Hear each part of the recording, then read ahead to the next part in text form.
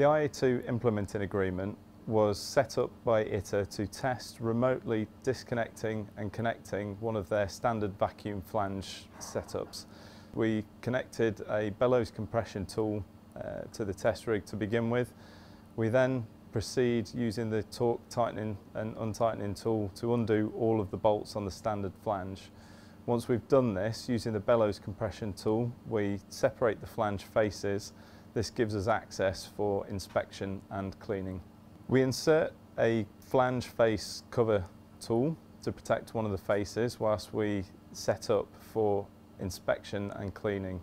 With the inspection tool fitted, we have a look on the seal face to look for any seal face damage uh, that might need repair at a later point in time.